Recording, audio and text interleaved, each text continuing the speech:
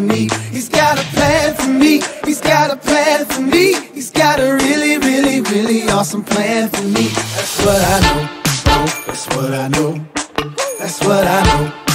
That's what I know. Let's go. I know that I can trust him. Yeah. I know that I can trust him. Yeah. No matter what the season. Yeah. His plans are for a reason. Know they are best. The reason I know is because he said he's got a plan for me. He's got a plan for me. He's got a really, really, really awesome plan for me. He's got a plan for me. He's got a plan for me. He's got a really, really, really awesome plan for me. That's what I know. Oh, that's what I know. That's what I know. Oh, that's what I know. And when I'm feeling so sad, I am afraid, God will never leave me. No, no, no, His love will never change. I know they are good, I know they are best. The reason I know is because I said He's got a plan for me. He's got a plan for me. He's got a really, really, really awesome plan for me. He's got a plan for me. He's got a plan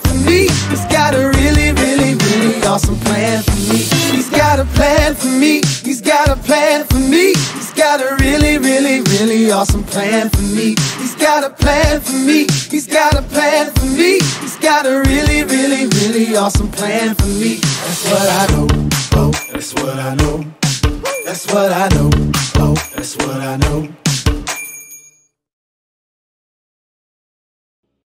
Who? Who?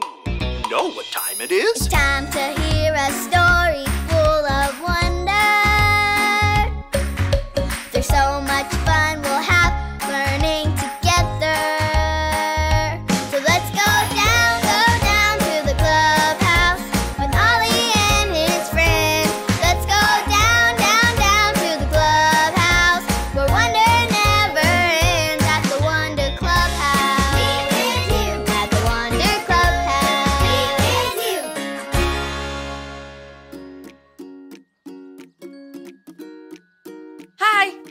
friend Hayden. I'm trying to decide which is the best plan for my very own mini golf course.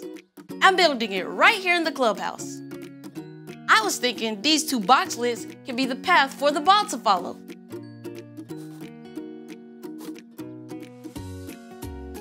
Oh, and I can also draw a blue pond right here.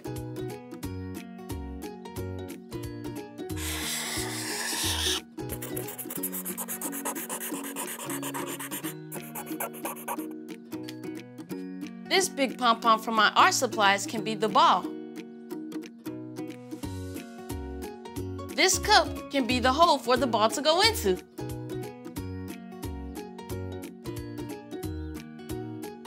This wrapping paper roll can be the club. Pretty cool plan, right?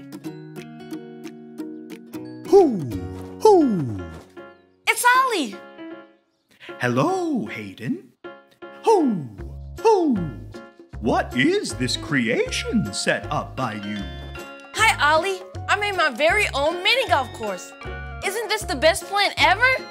It is a wonderful plan for golf. That's true. But there's someone who makes the best plans for you. Listen to this story. Just follow me through. Who? Who?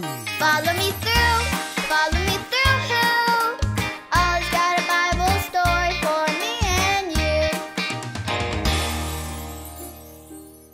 be here soon, Stormy. I'm sure they'll be here soon. Oh, there you are. Look, Stormy. There's our friends. I'm Carrie the dog walker, and this is my best dog, Stormy Jane. We've been waiting for you because we want to finish the story about Joseph and God's plans for him. Are you ready for the story? I know Stormy is. So today's true story from the Bible begins with Joseph. This is Joseph. Joseph's dad gave him a very special coat, which made some of his brothers very mad. They sent him far away to work. Then Joseph was sent to jail for something he didn't do. Do you think Joseph still trusted God, even though it was hard? Yes, he did. And God's plans for Joseph weren't finished yet. The king of Egypt, named Pharaoh, had a crazy dream, and he didn't know what it meant. He heard that Joseph was very good at understanding dreams, so he had Joseph brought to the palace to talk to him. Joseph was happy to talk to the king about his dream. Joseph listened to Pharaoh, and God helped Joseph understand the dreams. Joseph told Pharaoh to save food for seven years because after that, there would be seven years where no food would grow. Pharaoh was so happy that Joseph helped him, so he put Joseph in charge. Joseph got to work saving food in Egypt for seven years. It was all part of God's plans. Let's count to seven together. Ready? One, two, three, four, five, six, seven. now look. Wow, Joseph saved up so much food, which is good because just like God said, the food stopped growing and everyone needed food to eat, including Joseph's family. They didn't have any food, but who saved up all the food in Egypt? Their brother Joseph. Joseph forgave his brothers for what they did to him, and he made sure everyone in his family had food. Yay, Joseph! Let's cheer for Joseph because he trusted God's plans for him even when it was hard. Yay, Joseph! And now let's cheer for God because God loves us and God's plans are always best. Yay, God! Hey there, Ollie. Ollie, tell me, who has plans for you? God has plans for you. Yes, it's true. Now let's hear it from you. Tell me, who has plans for you? God has plans for me. That's the truth, friends. You better believe it. See you next time. So there's your story, and it's all true. God's plans are always best. God's plans for me and you.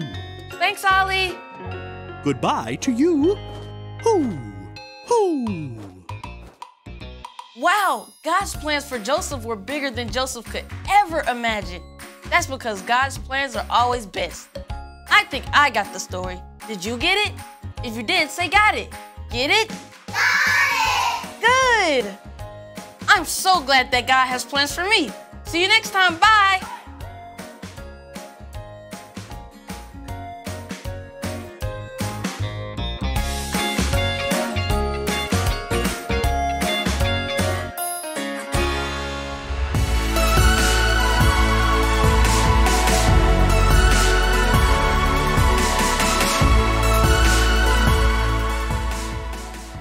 I know the plans I have for you, says the Lord. Jeremiah 29 11. For I know the plans I have for you, says the Lord. Jeremiah 29 11.